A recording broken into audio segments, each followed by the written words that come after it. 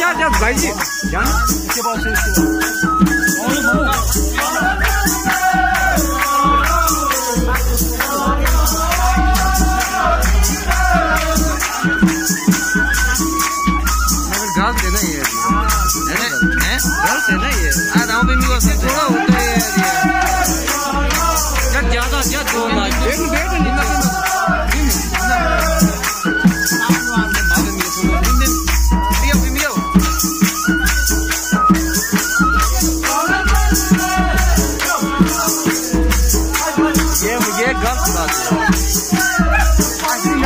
क्या कोई फ़ायदा है नहीं? शुक्र फ़ायदा? चल नाश्ता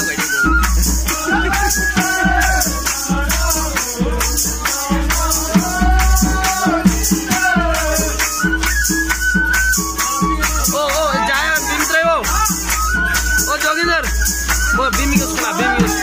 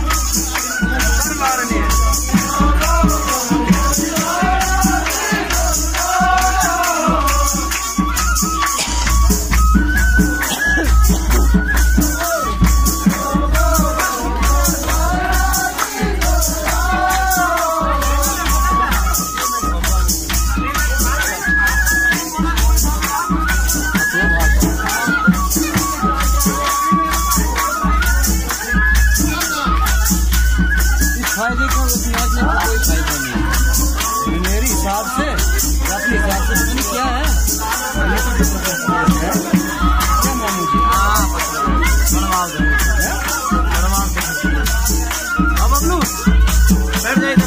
बैठ जा बैठ जा